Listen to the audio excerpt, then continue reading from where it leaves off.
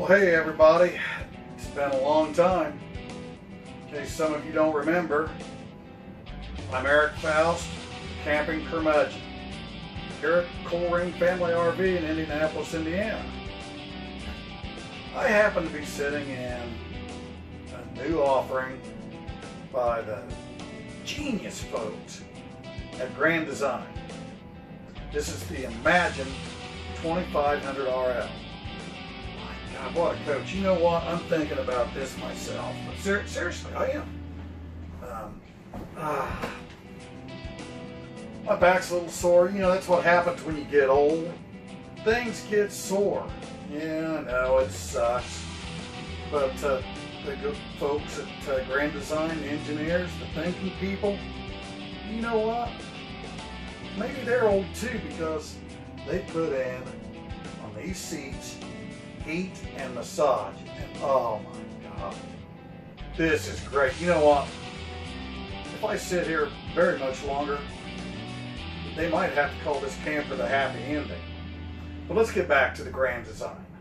Uh, real quickly, uh, Grand Design was started by two brothers and a good friend of theirs uh, back in 2012. They had been in the RV business for years and years and they saw where it was going you know, let's mass produce, do more mass produ production, and even mass produce even more. And they were losing, uh, they were losing grip on the company that they had founded because it had been bought out by another company. He said, you know what, we need to get back to our roots and let's build quality and comfortable and value-driven RVs for our public, for our customers, and get back to our roots. So they start, they sold their stock, and they started Grand Design. And real quickly, and it's on their website, but uh, Grand Design on each coach, including this one, everything that you see that Grand Design has made has gone through an independent, unbiased testing facility before it's sent out to the dealerships. In other words, these things undergo a 400 point inspection. Anything's wrong. I mean, something small, like there was like a, just a little rip in this little valence or, or you know, like this, this, this cup holder wasn't in just right. It's sent back to the factory and it's fixed. Folks, this is called quality control. What's that mean for you?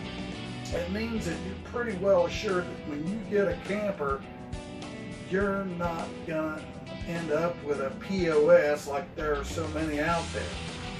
It, this is the pinnacle of quality.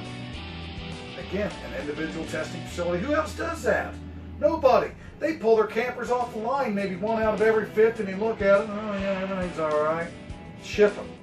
And they go from the factory directly to the dealer.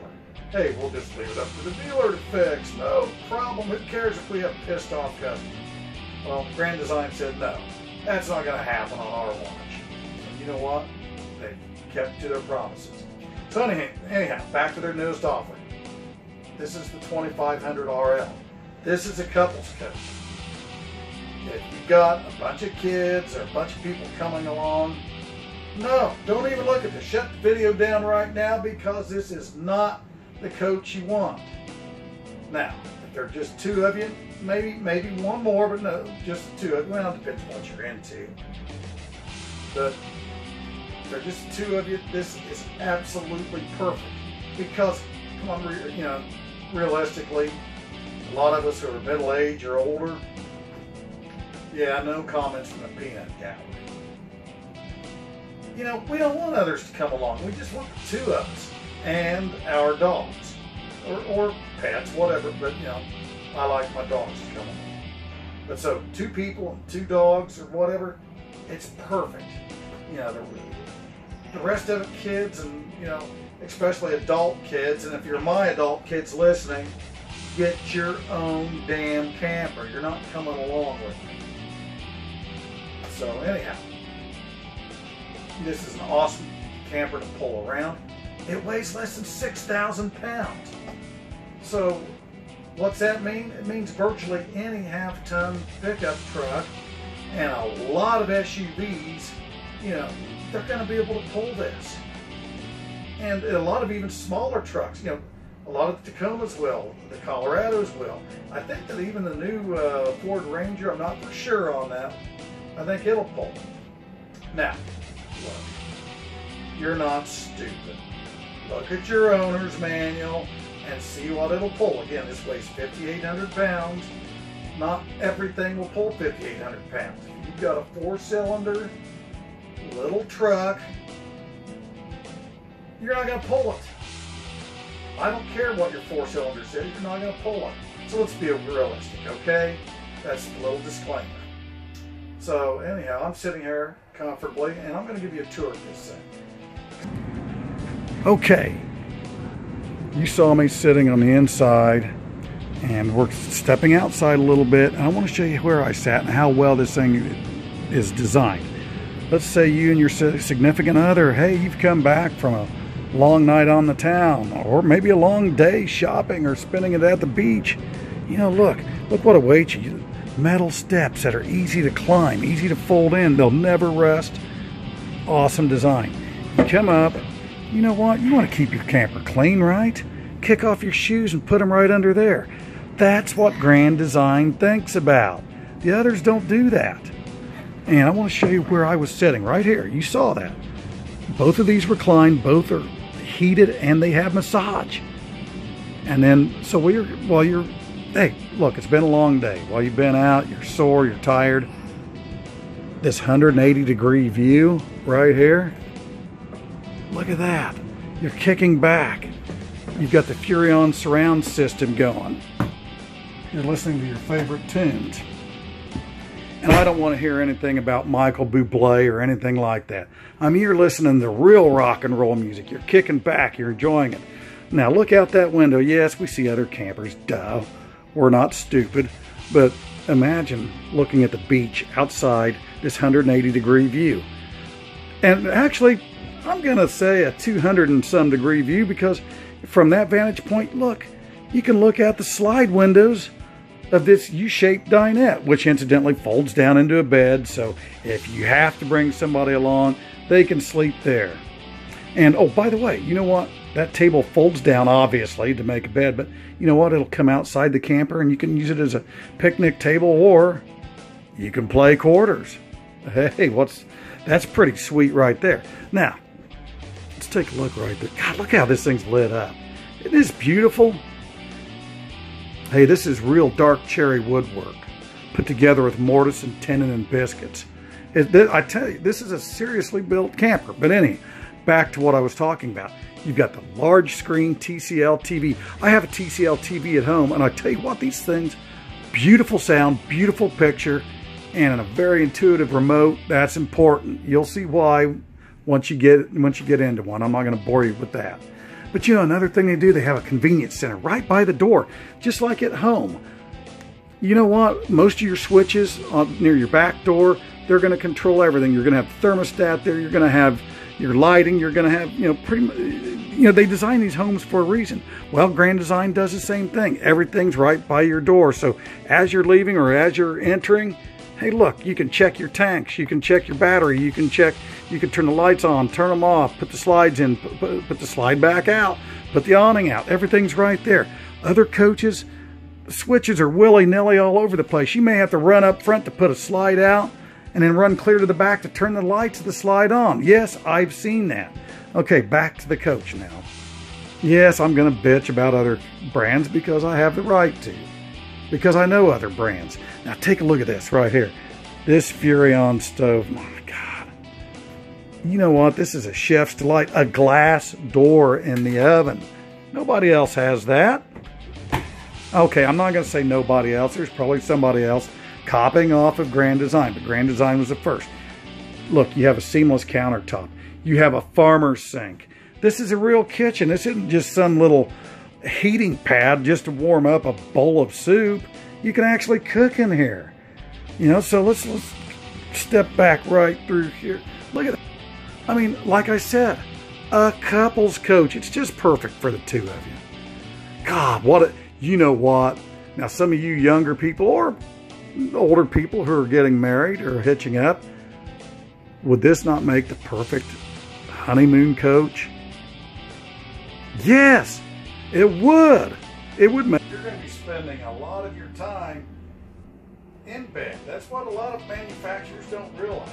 This is a full 80 inch queen bed. Taller people can fit in this. You know, and they have a pretty decent mattress. You know, RV manufacturers are not noted for their mattresses. But this is a comfortable place to sleep and hey, engage in other activities. Oh, get your mind out of the gutter. You can put a TV right up here, and while one of you watches sports, another one can catch a movie. All in high definition, all in surround sound. There's plenty of room in here for all of your clothes, all above overhead. You can, know, you can on either side, check it out. On either side, you have 110 volt, and you also have USB ports to uh, recharge your devices, like what I'm recording on using my phone. I can set it right here, pour off of it, or wash it, whatever. And it'll be recharged. And also, again, back to the 110 volt. You have CPAP. Hey, no, no problem. And I want to show you another thing. An entrance door. See, this coach has two, it's a two-door coach. Your rear entrance door, that's your main one. And I'm going to get back to the bathroom. I know you've seen it. And you've got this one right up here. So what's this door for? Well, some might say, uh, you know, it's it, it's a great safety thing in case there's a fire or an accident. Okay, yeah, I'll, I'll go with that. But let's say you're on your honeymoon and your significant, your significant others has their annoying relatives in. And they shuffle in and they all sit down all around here and they start blabbering and driving you crazy, right? Well, it'd be kind of rude to well, just walk right out that door. No. You're in here, you hear them. You can say, well, excuse me, I'm using the bathroom. So you shut this pocket door, which, again, look at that. This separates the bathroom and the master bedroom from the rest of the coach. You shut that door, right? You come through the bathroom, you make your exit out this door and you go to the nearest pub and enjoy yourself until they get the hell out. God, that's great thinking. Okay, now we're going to go back to the bathroom. Look at the shower. You know, you don't have to wrap up like Harry Houdini to be in this shower. I mean, come on.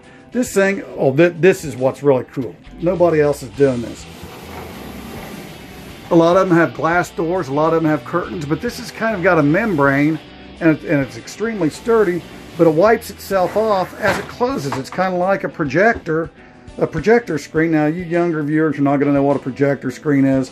We older people, it's like a projector screen turned sideways and it wipes everything off. And it's translucent, so you can't see your significant other taking a shower.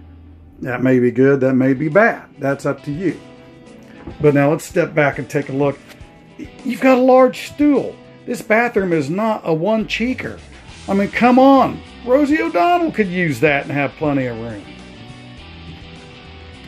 And you know, this speaking of, this thing's so well built. Yeah, no problems holding old Rosie. Okay, look right here. All of this room for towels and medicines, uh, shampoos, whatever. Um, I don't know anything about blow dryers, obviously. Now, clear up to the medicine cabinet. So, you have you have everything in this coach. Again, it's okay. I've given you a tour of this thing. You know what? I'm not gonna bore you with tank capacities and R values and structurally how it's built, although I do want to touch upon that real quickly. You know, you won't see a register in a Grand Design product on the floor. The Grand Design people and the engineers believe that that, that kind of usurps the integrity of the floor. And what they do is they vent it out through various strategic points in this coach and then they blow air down into the underbelly to keep your floor and tanks warm. What's that mean to you? It means that when you get up in the morning on a zero degree day, you're not going to be walking on an ice cold floor like a lot of campers do. So I just wanted to, I just wanted to stress that to you real quickly. What I'm telling you that you will not find a better built camper. You won't find a better value. You won't find a more comfortable camper. You won't find a more practical camper. This travel trailer, again, it's towable by virtually anything. So why don't you come in and take a look at it? Because again, again, it's not for everybody. Two people and their pets. That's where I draw the line. Anybody else? You know what? Use this. Use this real quick. You know what? You don't want your adult kids staying with you. You don't want. You don't want pesky relatives staying with you. Remember this. Ten to drink, six to eat, two to sleep. It's that simple. You keep those rules in mind and you'll be a happy camper. And you won't be a curmudgeon like me. So hey, I wanted to thank you for spending time with me again. This is Erick Faust, your camping curmudgeon with Colerain RV, Indianapolis, Indiana, sitting in the Grand Design Imagine 2500 RL. Come out and see me.